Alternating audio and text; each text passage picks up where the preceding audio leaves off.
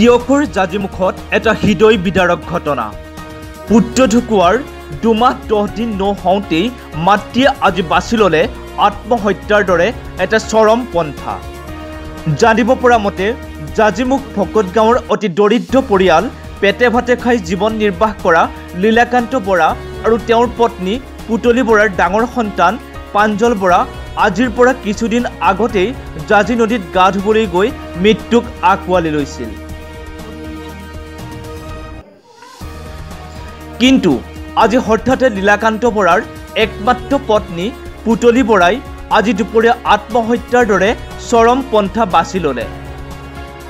দিন হাজিৰা কৰি দুবেলা দুমুঠি খাই জীৱন নিৰ্বাহ কৰা লীলাকান্তৰ পৰিয়াললৈ আজি পুনৰ এক চৰম অমানিশা নামি আহিছে।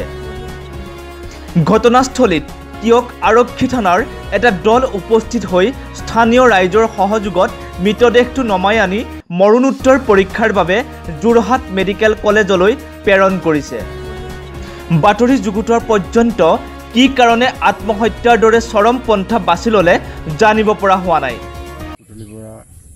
নামৰ মহিলাগৰাকী যি আজি আত্মহত্যা কৰিলে।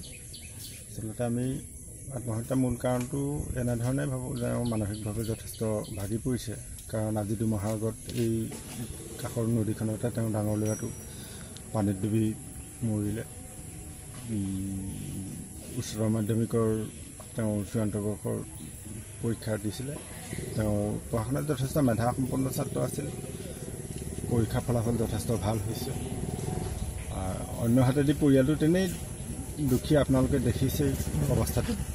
গতিকে মানসিকভাৱে ভাগি পৰাটোৱেই মূল কাৰণ বুলি আমি ভাবোঁ। আৰু তেওঁলোকক মানে দাৰিদ্ৰতাই যথেষ্ট পীড়িছে। যিটো কাৰণে হয়তো জীয়াই থকাৰ কথা নাভাবিলে আৰু। কণ কণ দুটা ল'ৰাৰ মুখলৈ চাবলৈও তেওঁ আহৰি নাপালে। যিটো কাৰণে আজি আত্মহত্যা কৰিবলৈ বাধ্য হ'ল বুলি আমি অনুমান কৰিছোঁ। তিয়কৰ পৰা Nayanmoni Baruah report Indian prime news Assam.